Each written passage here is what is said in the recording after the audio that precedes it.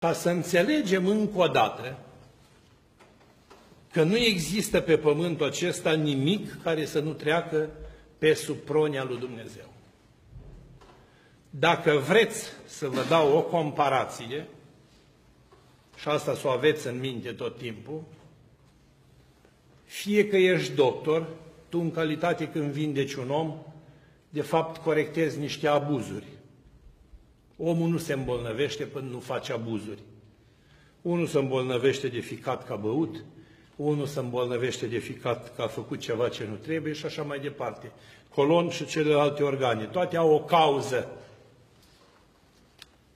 Deci, de fapt, atât medicul, care din punct de vedere biologic îți vindecă trupul și îl cărpește, corectează un abuz,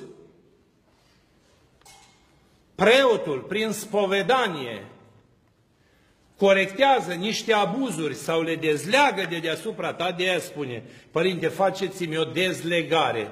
Și eu mai fac câteodată glumă și întreb, dar ce te simți legat? Intenționat o fac. Da, părinte, simt un fel de apăsare. Ei, dacă o simți, chiar stai jos. Ei, această apăsare este la fel un abuz din partea conștiinței, a sufletului, a minții și a rațiunii. Și fiecare ne cunoaștem neputința în dreptul inimii sale. Deci, dacă eu îi spun cuiva, hai, lasă că tu ești sfânt, el știe și că nu-i sfânt sau cât este de sfânt, el știe și cât e corect sau cât nu este de corect, dar în același timp știe ce știe? Știe că se poate împăca cu Dumnezeu și poate colabora cu El. Și ultima, și pe judecător, dacă îl iei să-l duci la tribunal, tot abuzuri corectează. Ce trebuie să facă? Să stăpânească lăcomii, să stăpânească furturi, să stăpânească moșii. Ce îi spune Iisus unui tânăr? Doamne, fratele meu mi-a luat partea de avere, ă, te rog să lămurești problema. Eu n-am venit pe pământ să fiu împărțitorul averii fratelui tău. Aveți cezar pentru asta. Mergi la cezar să-ți rezolve. Eu am venit să aduc mântuirea.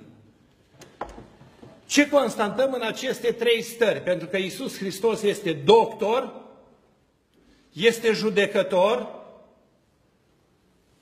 și este preot sau mare arhereu.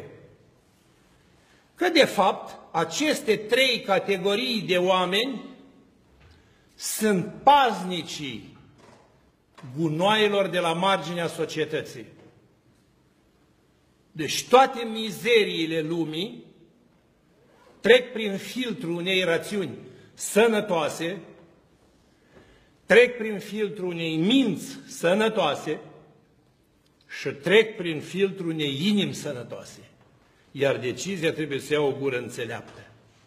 De aceea, dacă un doctor îți dă un diagnostic greșit, te omoară cu medicamentul, dacă un, un doctor îți face o operație greșită, te ucide cu intervenția, Judecătorul te poate ucide cu legea, de aceea a spus Hristos, litera ucide, Duhul de viață, și preotul te poate lega pe pământ, că așa este scris, că poate să lege și să rămână legat și în cer, și preotul te poate dezlega și pe pământ și poate să dezlege și în cer.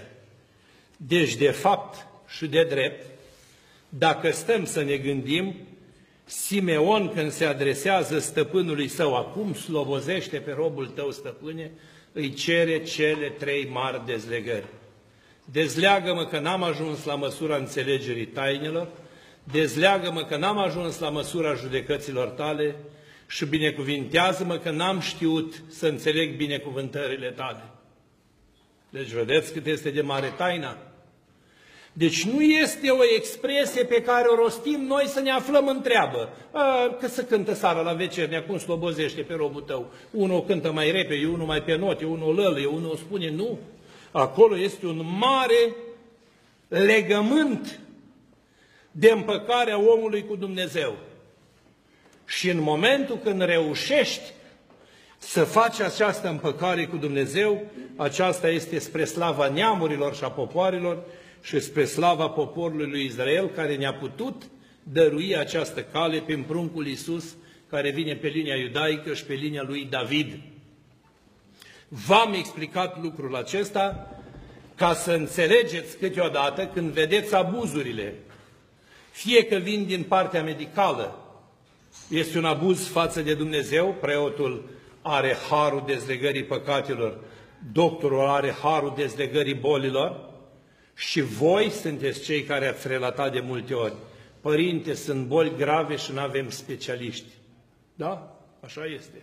S-au mulțit bolile pe măsura sclifosismelor sociale, mâncări cât mai artificiale, ă, tratamente cât mai artificiale, medicamente cât mai artificiale, combinații cât mai paraciudate și extra ciudate.